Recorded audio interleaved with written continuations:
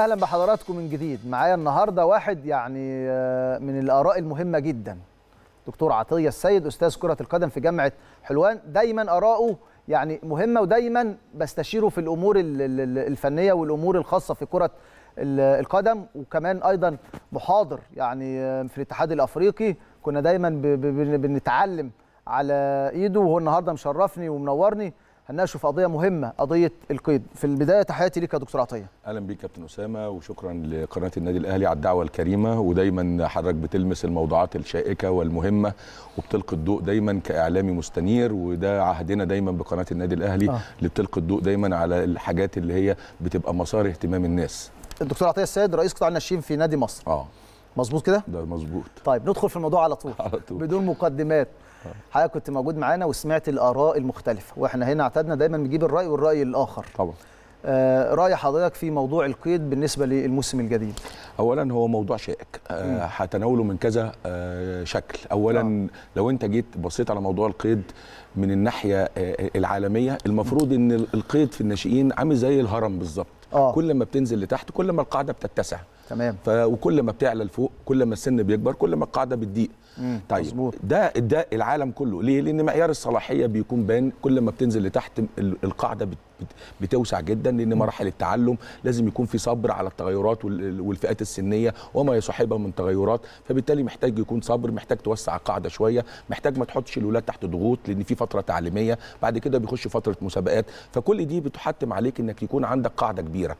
وبالتالي كان من المفترض إن تستمر عملية توسيع القاعدة إلى أكبر مدى ممكن. طيب النقطة اللي أنا عندي تحفظ عليها.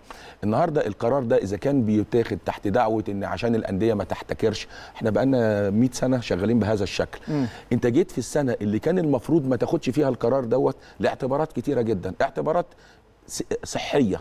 انت عندنا آه، فيروس كورونا كوفيد 19 بقالنا أكتر من سبع شهور قاعدين في البيت. النهارده لما تيجي بعد سبع شهور والناس ما بتمارسش رياضه وانت قافل الجيم وقافل كل حاجة واخد اجراءات احترازيه كبيره جدا جاي بتقلل الاعداد يعني بتزود من من المشكلة الاساسيه اللي انت كنت بتعاني منها. ده رقم واحد. رقم اتنين انت اللعيبه اللي في السن الصغير إحنا شفنا امبارح نادي الرجاء ثمان لعيبة أصيبوا بكورونا. شفنا فرجاني ساسي شفنا الوداد شفنا فرق كبيرة جدا عندها من الإمكانيات اللوجستية وعندها من الوعي ومن ال... من الإمكانيات الاحترافية اللي تقدر تعوض اللعيبة. إزاي في, في سن صغير هتقدر تسيطر أو تقدر تعوض اللاعبين اللي النهارده المدارس فتحت وعرضتهم لل... للإصابة بفيروس كورونا والعياذ بالله كبيرة جدا. فأنت كنت محتاج إنك تاخد السنة دي كفترة انتقالية عشان تعدي وتعيد تقييم الأشياء. آه. أنا سمعت الكابتن شطه الحقيقة قال كلام متزن جدا. لما قال إن حتى لو عايزين نعمل نظام جديد لابد إن يكون في فترة انتقالية. مش هتلاقي فترة انتقالية أفضل من الفترة دي أو مناسب ليها الفترة ديت نظرا للوباء اللي موجود العالمي اللي الدولة المصرية ملهاش أي يد فيه. ده وباء عالمي على كل الناس. فأعتقد إن لم يجانبهم الصواب خالص. اللي خدوا القرار ده من حيث التوقيت. ممكن يكون من حيث المضمون منطقي جدا ولكن أنا كان ليا تحفظ على عمرين بالذات. أعمار 99 سنية. آه 99 آه. و2001 النهارده في ظل الإجراءات اللي بتحصل وإن في أندية كبيرة جدا في الفريق الأول بتعتمد إن يبقى عندها يعني النادي الأهلي ما يقفلش ما يقدرش يقفل قائمة 99 طبعاً. النهارده النهارده كابتن عمرو أنور مدار الأعمار ما- السنية خالص أقدرش 99 بالذات دي آه. ال second team أو مظبوط. الفريق اللي تحت الفريق الأول آه. على الأقل عندي مركزين أو ثلاثة أو مكانين أو. ثلاثة لازم أسيبهم من الفريق طبعاً. الأول لعيب أجنبي صغير تحت السن أقدر أسجله فيه آه. في نص الموسم فالنهارده أنت متاح ليك كام 22 لاعب 22 لاعب لا قدر الله في أي نادي لو ثلاث أربع لعيبة جالهم كورونا لا فيروس حاجة تانية حاجة تانية النهارده 99 يعني الولد مرشح يلعب فريق. إنه يلعب فريق أول طبعاً. ودلوقتي خلاص بقى في موجود لعيبة كتير بتلعب في الفريق الأول أكيد. فالنهاردة أنا مأيده في الف... في الناشئين بيلعب مع الفريق ده وده اللي إحنا الشيء اللي إحنا عايزينه لكن النهارده ممكن المدير الفني في الشباب يروح قائمة مباراة ما مش مكمل مش مكمل. مش مكمل طب فريق. كان كان بيعتمد عليه كلنا آه. كنا بنعتمد. أنا كنت بعتمد السنة اللي فاتت إن عندي 99 25 وعندي 2001 30 لاعب. آه. أنت النهارده في 2001 كمان خليتها له 25 فبقت المشكلة أنت مش لاقي حتة تاخد منها. لو جيت تاخد من 2003 عشان تلعبه في 2099 أنت هتؤثر على مسابقة 2003 وبعدين الفارق حوالي هيبقى ثلاث سنين أو أربع سنين كبير جدا. فأعتقد إن أنا بعترض على القرار من حيث التوقيت. نظرا للظروف العالمية اللي بتمر بيها كرة القدم في العالم والظروف الصحية اللي بتمر بيها. الحاجة الثانية والحاجة الثانية بدون قطع كلامك يا دكتور عطية فالنهاردة لو 25 أنت بتجبرني إن أنا أدخل مسابقة 2000 اللي هي منطقة والنهاردة أحمل أنا نفسي اعباء طبعاً. مادية كنادي طبعاً. إن أنا أعمل 99 وأعمل 2000 الحاجة الثانية المهمة يا كابتن اسامه 90% من الأندية لغت المسابقات الزوجية. نتيجة النهارده إن في تعظيم لمسابقات وتقليل من قيمة مسابقات تانية. النهارده بعد المنتخب اللي كان ماسكه كابتن عمرو أنور بمجرد فشل المنتخب في الصعود مع كابتن عمرو أنور طبعا كابتن عمرو أنور مدرب محترم مدرب. هايل آه. ويعني هو جابوه قبلها باربع أشهر وقالوا له اعمل منتخب فما كانش فيه تخطيط لهذا آه. المنتخب لما المنتخب ده فشل في الصعود اتلغت مسابقة 2000 90% من الأندية لغت مسابقة 2000 خالص. كل آه. اللعيبة بتاعت 2000 اندمجت في التس... في مواليد 99 والباقي تسرب. أدي واحد. النهارده بعد تعظيم المسابقات الفردية بعد 99 2001 2003 2006 جمهورية كل المسابقات الزوجية تم دمجها. فأنت النهارده بتوسع القاعدة ولا بت بت بت بتقلل القاعدة. الجزء الثاني اللعيبة اللي بتمشي بتقول عشان اللعيبة ما ت... الأندية ما تحتكرش. النهارده أنا لسه شايف التقرير بتاع النادي الأهلي. مسابقة آه، آه، دور اسمه إيه دوت؟ آه، معسكرات. 2005 آه، و2006 رعاية. كل الكلام ده كان بيتوفر لو بيتوفر ل 40 لاعب غير لما يتوفر ل 20 لاعب. انت ال 40 لاعب بعد فترة النادي الأهلي فترة من الفترات كانت اللعيبة بتاعته بتغزو كل أندية مصر. نادي الزمالك كان نفس الحكاية نادي الإسماعيلي كان نفس الحكاية. ده كله إيه؟ إن القاعدة بتتحط. في ظروف ما بتتوفرش لأغلب الأندية مظبوط. النهارده أنت لما تقلل هذه الظروف النهارده اللي يعني بيقول لك إيه الناشئ اللي بيخرج من الأهلي أو من الزمالك أو من إنبي أو من المقاولين دي أندية خضعت عندها إمكانيات لوجستية طبعا تاني. فالنهاردة ده بي- بيبقى إعداد لأندية تانية لما آه. بتقلل دوت حتى على أندية القمة أو الأندية اللي عندها قدرات آه أنت بتفتح مجال لأندية تانية بس ما عندهاش القدرات ولا الدعم لهذا الكلام ده النهارده في وقت من الأوقات إحنا بنلغي من غير ما بناخد من غير ما بنسمع هل من المنطقي يا كابتن اسامه خدوا رأي حضرتك ما خدوش؟ رأي حد يعني الكلام اللي إحنا بنقوله إن يبقى في ورشه ورشه عمل ما بين الاتحاد الكرة واللجنة الخماسية وما بين كل رؤساء قطاعات الناشئين في مصر. وأعمل اجتماع موسع النهارده واسمع الآراء كلها على ترابيزه ونطلع بنقاط مهمة كابتن اسامه الأمور الطبيعية ربنا خلقنا بودنين آه. بق واحد عشان نسمع أكتر ما نتكلم. من المهم جدا إن مجلس إدارة الاتحاد واللجنة الفنية وكل المسؤولين عن إدارة كرة القدم يسمعوا للناس. خو ما تاخدش بس اسمع الناس. ربما الناس يطلع منها صوت عاقل أو يقول لك على مشاكل أنت مش مدركها أو مش حاطط إيدك عليها. هل من المنطقي إن تنتهي المسابقات من غير ما يتم دعوة الناس مديرين قطاعات الناشئ عندك إمام محمدين وعندك كابتن علاء نبيل وكابتن شطة وكابتن فتحي مبروك وكابتن كل المد... كتير. مش آه. مش عايز أذكر. أنا بذكر على سبيل المثال لا الحصر آه. لما تدعوهم إلى مؤتمر أو إلى ورشة عمل في اتحاد الكره لمدة ثلاث أيام لمناقشة شكل المسابقات شكل القيد إيه المشاكل أكبر أبرز المشاكل. أنت عندك في بعض المحافظات فيها أربع فرق يعني الوجه بيقعد موسم كابتن فتحي جميل في محافظة طبعا كارثة. بص هو بيكلف بقى أنا بلعب إيه؟ النهارده قدام خمس ست فرق. طب هل- والمسابقة بالنسبة لي في سنة بستعد عشان تخلص في شهر وشهرين. النهارده اللي ما بيلعبش بطولة جمهوريه ما بيلعبش مسابقات. ناشئين.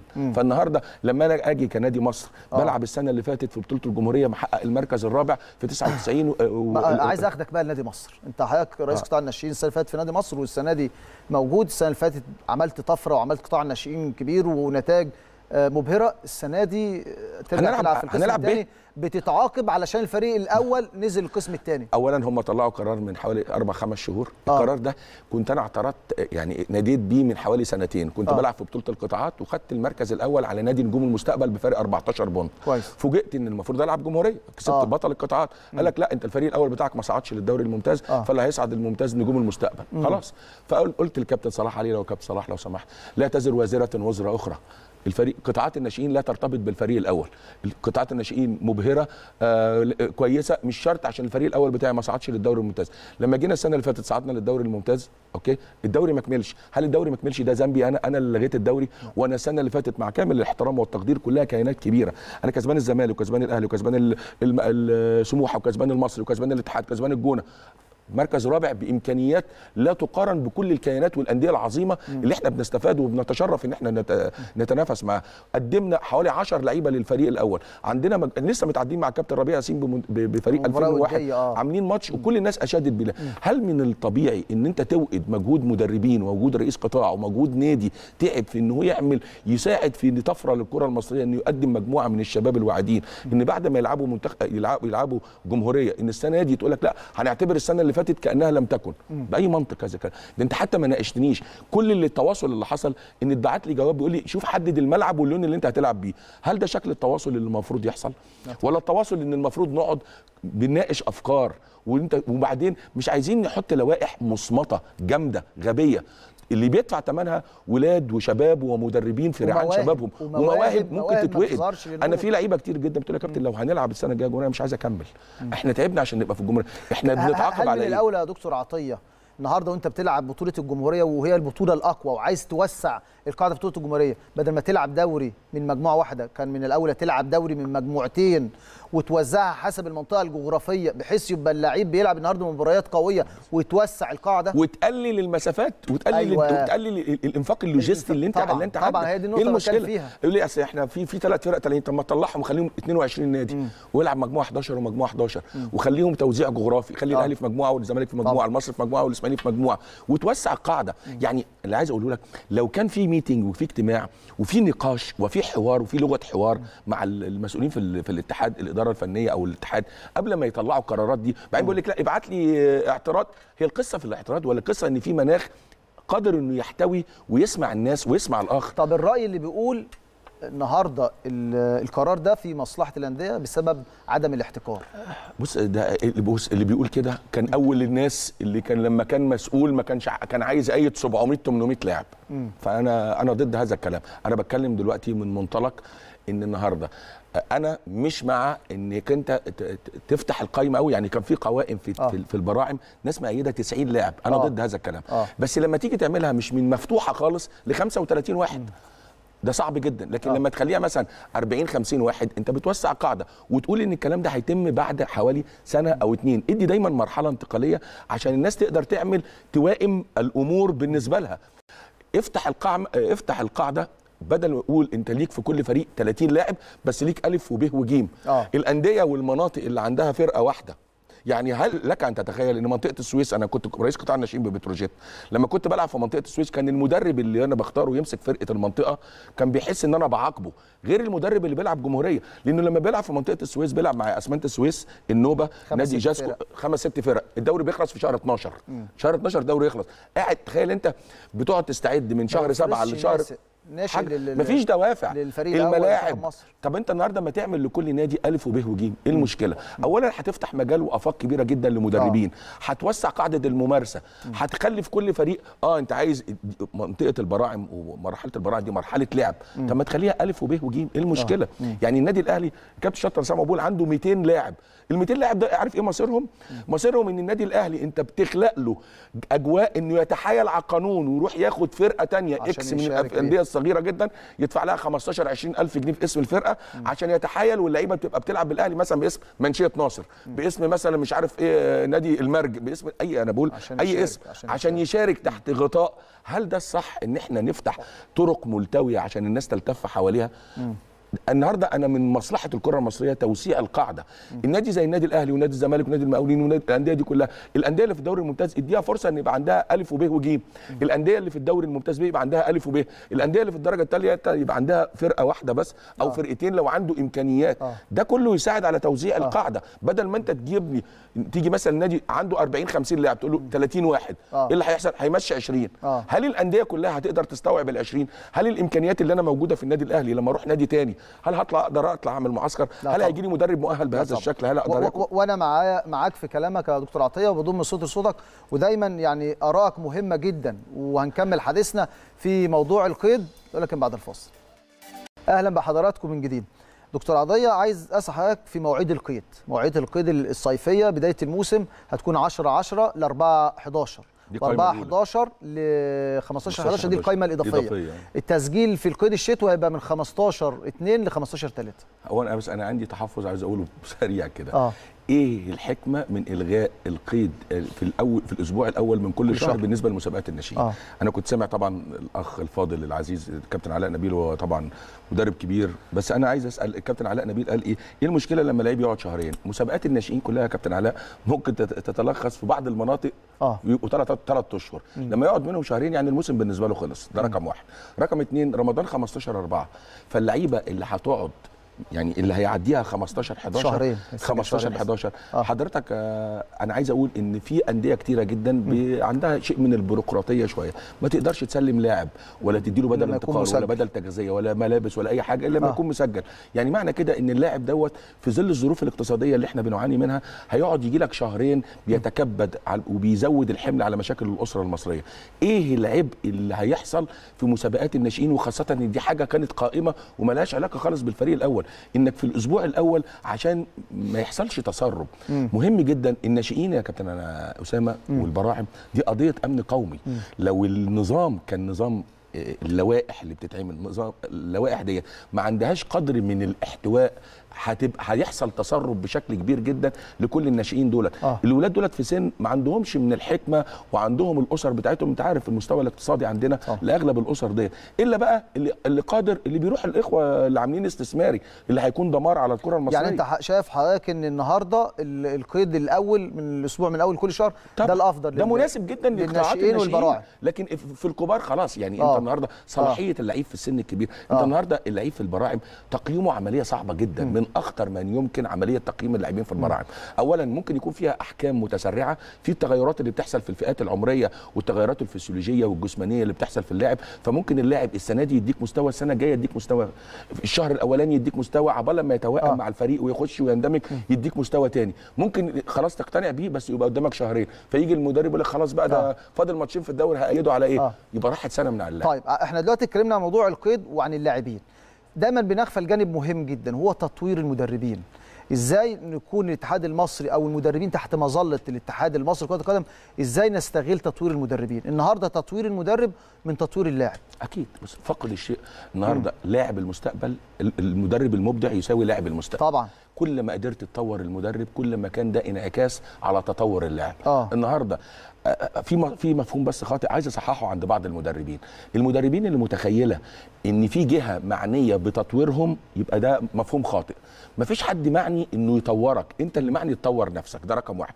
فعملية التطوير هي عملية فردية في المقام الأول. طيب نخلي إيه بقى؟ نخلي يبقى عندنا في توجه من الاتحاد يقوم بدوره. ما يبقاش الدور فقط قائم على منح الرخص اللي هي ال A و B. و C تمام. لازم يكون في ندوات وفي ورش يعني عمل النهاردة- وفي است... إن أنت تستدعي آه. م... آه، خبراء من آه. بره يدوك أحدث ما تم التطوير إليه وده ما ينفعش يكون بشكل إجباري في رخصة وتحط معوقات كبيرة جدا إن يبقى مثلا في آه، فترات من الزمن أنت النهارده أي حد عايز يتطور المفروض يكون في نظام داعم لهذا تطوير. التطور وعشان كده هنا من الأشبال يعني بنخاطب الدكتور محمود سعد واتحاد الكورة إن دايما يبقى في ورش عمل كل شهرين أو كل ثلاثة للمدربين. النهارده اجتمع بالمدربين برؤساء قطاعات الناشئين علشان نقدر نطور المنظومة دي. زي ما بنقول تطوير الناشئ من تطوير المدرب. والمدرب هو الأساس. وزي ما الكابتن الدكتور عطية بيقول فاقد الشيء لا يعطيه. الحقيقة بس هم بيعملوا. يعني عايزين أقول لك بس الم- الموضوع محتاج يبقى. وفقا للنظام وفقا آه. إحنا عندنا عندنا أكتر من من 50 ألف مدرب. مم. فأنت النهارده النظام ده لازم يحتوي كل الفئات ديت. ويساعد إن العملية تبقى فيها شيء من التطور يواجه التطورات اللي بتحصل بره. إحنا عندنا التكنولوجيا اللي بتستخدم دلوقتي في التدريب. ال- النظام مثلا ال Catapult system وال Polar system. الأنظمة الجديدة في في الإعداد البدني. آه. الأنظمة الجديدة في التغذية. الأنظمة الجديدة في التدريب. كل ده لازم المدرب يبقى مطلع عليه. ما آه. ينفعش يبقى كل ال- الوحدات ال- أو أو الدورات المناهج اللي فيها متشابهة. إحنا محتاجين نستدعي خبراء من بره ونعمل ورش عمل على أعلى مستوى للمدربين. كرة القدم لن ينصلح حالها إلا بتطور المدرب رقم مظبوط. واحد تطوير المسابقات رقم اثنين تط... الاهتمام بقطاعات الناشئين. الأندية اللي باصة فوق على القطاعات الفرق الأول لو ما بصيتش على القطاع. هتلغي المستقبل. هو ده المخزن بتاعك الدعم الأساسي. الكرة للناشئين آه. الكرة للقادم من ال... النهارده.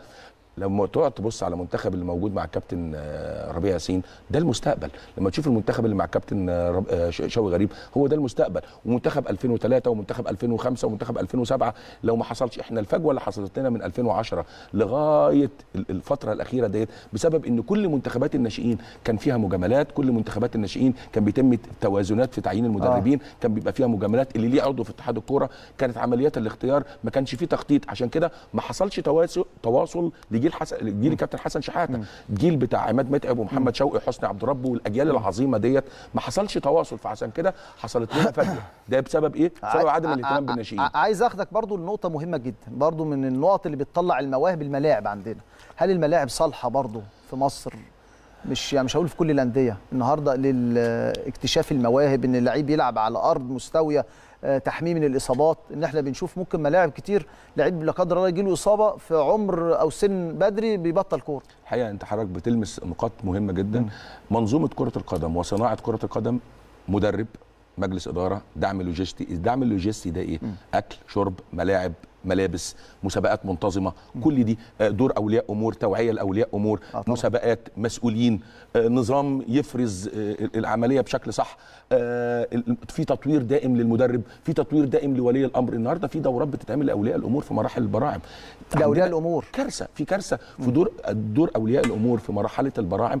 غالبا بيبقى دور يعني أكتر بيمثل الدور السلبي أكتر من الدور الإيجابي إلا ما نظر إلا أولياء الأمور اللي بتبقى مستوعبة دورها الحقيقي وإنها بتكمل ولي الأمر يا كابتن أسامة بيمرن بطريقة غير مباشرة إذا كان ولي الأمر إذا كان المدرب بيمرن ساعة ونص أو ساعتين. فولي الأمر بيمرن 22 ساعة 22 ساعة. بيمرن نوم وبيمرن attitude سلوكيات بيمرن آه. تعليم بيمرن آه، مبادئ بيمرن قيم بيمرن سلوكيات. كل دي يع- يع- النهاردة- يعني النهارده مهم التواصل المدرب مع. ولي الأمر طبعا التدريب في مرحلة البراعم ولي الأمر بيمثل أو الأسرة بتمثل 50% والمدير الفني بيمثل 50% آه. طبعا المدير الفني بقى معاه الأكل والشرب واللبس والملعب وكل الكلام ده آه. من ضمن العناصر المؤثرة الملعب النهارده لما انت في مرحلة الناشئين في مرحلة البراعم انت مراحل تعليمية يعني برضو ودي من الإشكالية الكبرى. أنا لسه امبارح بتكلم على حتة إن لازم نهتم بعنصر بمهارة المراوغة. لأن المراوغة اللي ممكن تديك لاعب إضافي تزود لك لعيب إضافي.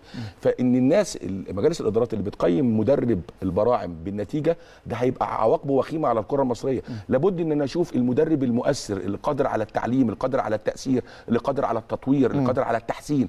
هو آه. ده اللي أقيمه حتى لو ما خدش البطولة. دي واحد. النهارده لازم الملاعب تكون على القدر اللي يتناسب مع الأهداف الموضوع أنا بس في حتة البطولة دي يعني للأسف بشوف لقطات وأنا بتفرج على مهرجانات البراعم كارثية اولياء أمور بتعيط لا- وبتشتم مدرب ومدرب ومدرب ومدرب, ومدرب. بيقف يع- يعنف ولد عنده. 9 سنين و10 سنين وبيضربه. على فرصة ضيعها وبيجيب لعيب مسنن. عشان يكسب بطولة. آه. ما هو أنا برضو لو أنا هديت المدرب دوت وقدرت أستوعب إن المدرب ده رب الأسرة وهيمشي لو اتغلب لأن لو في مجلس إدارة قال له إن في آلية للتقييم غير آلية النتائج في هذه المرحلة السنية مش هيلجأ للعيب المسنن ولا اللعيب المزور ولا هيكون عنيف بالشكل دوت آه. ولا هيكون آه، التدريب بالنسبة له عمل ضاغط تلاقيه مدرب عصبي جدا مكشر جدا في التدريب بيتعامل بعصبية لا تتناسب مع تماما في سن مع سن الولد يستمتع. تجربة سعيدة أنا آه. آه. الولد عايزه يمشي من ده راجع مبسوط آه. آه. مش راجع آه، معيط ومقهور والولي الأمر عمال يعنفه طول السكة. وعمال يزعق له اذا إحنا بنخلق موقف ضاغط من أهم نشاط إنساني بيحبه اللاعب وبيجيه ويعمله بمحض إرادته آه ده مهم جدا أخيرا يا دكتور علشان وقتنا عايز يعني ألمس سريعا في قضية مهمة جدا التزوير والتسنين. إزاي نقضي على آه، على التزوير والتسنين؟ مشكلة بقى لها سنين. في قطاع عشان إحنا بنتعامل مع الموضوع وبنحط ده في في وجه مين؟ رئيس القطاع. الت... التس... اولا لازم نفرق بين التسنين والتزوير. آه، التسنين مشكلة إجرائية. آه. التسنين ال- التزوير مشكلة جنائية. يعني المزور ده لازم يتسجن. آه. لكن أنا النهارده المشكلة دي لازم يواجهها اتحاد كرة القدم تواجهها وزارة الداخلية تواجهها وزارة التعليم تواجهها وزارة الصحة يواجهها أولياء الأمور تواجهها المناطق يواجهها الأندية. لكن لو إحنا صدرناها في, في وش الكابتن إمام محمدين أو وش الدكتور عطية أو وش الكابتن علاء نبيل أو وش الكابتن شطة يبقى إحنا النهارده بنختزل. النهارده هو الورق اللي بيجي لك. أنا في لعيبة بتجيب لك ورق مظبوط 100% وبقول له لا مش عايزك برضه لأن أنا عارف شكل الولد وجسمه وناضج و... آه. وكل الكلام دوت. لكن معاه ورق سليم.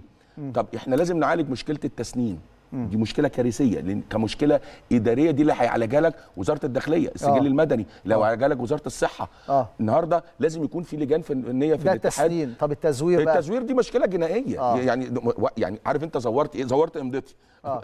حطيت ماضي مكاني دي مشكلة جنائية ده لازم لازم لما يكون في حالة واثنين يتم التعامل معاهم بمنتهى الشدة وبمنتهى القسوة كل واحد من آمن العقاب أساء الأدب طبعا. لما إحنا نتعامل ما لك عيل صغير أصله فقير أصله مش عارف إيه آه. واحد انت بتتكلم في قضية تزوير في قضية اغتيال مواهب أخرى وبت- وبتقضي على مواهب بتقضي على مواهب أخرى. دكتور عطية ممكن نكرر تجربة محمد صلاح وتريزيجيه تاني في قطاعات الناشئين اولا أنا عندي تحفظ كبير جدا على تجربة محمد صلاح إن هي تجربة آه. مخطط إليها هي تجربة وفقوا نتيجة اجتهادات تريزيجيه ومحمد صلاح صادفهم بعض الجوانب الإيجابية زي وجود المهندس شريف حبيب آه. واحد فكر خارج الصندوق ما بصش على العائد ال- ال- القريب بص على العائد البعيد قدر يقنع مجلس الإدارة إن مش لازم نطلب مبلغ كبير جدا فأتاح لي دي آه. فاذا هنا تصرف فردي من حد بيفكر خارج الصندوق زي المهندس شريف حبيب. ده الحقيقة.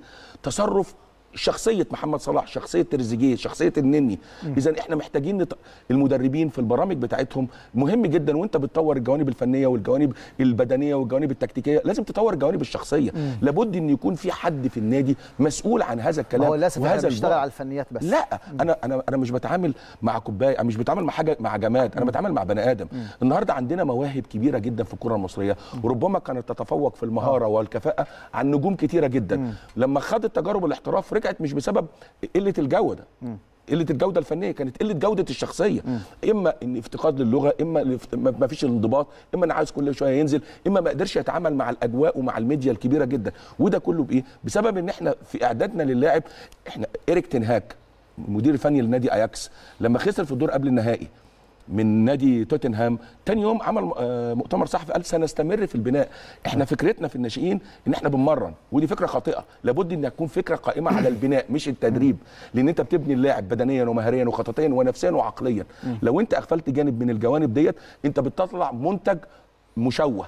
بتطلع منتج مشوه وشفنا تجارب كتير والنادي الأهلي عانى ونادي الزمالك عانى وأندية كتيرة جدا عانت من من كفاءات كبيرة جدا لم يتم احتوائها وكانت مصدر لتصدير القلق للنادي ومصدر لإهدار مواهب عشان ما كانش بيتم التقنين التعامل معاها من السن الصغير. شرفتنا يا دكتور عطية. ربنا يخليك يا كابتن أسامة. سعيد استمتعت. بالحوار معاك والحوار. معاك محتاج حلقات كتير. ربنا يخليك وبشكرك وبشكر قناة النادي الأهلي على الدعوة الكريمة. في النهاية بشكر ضيفي اللي كان مشرفني النهارده النهارده دكتور عطية السيد. إحنا في حلقتنا النهارده في أول قضايانا استعرضنا الرأي والرأي الآخر ولكن دايما دكتور عطية السيد ليه آراء آه، مهمة آه، بتحتاج حلقات كتير. آه، كده وصلنا نهايه حلقتنا. إن شاء الله مباراة الأهلي في مباراة العودة أمام الوداد المغربي. هتكون يوم الجمعة يوم 23 كل الدعوات وكل الأمنيات إن شاء الله للنادي الأهلي بالتوفيق وكل لاعب في لاعبي النادي الأهلي يتذكر إننا الأهلي.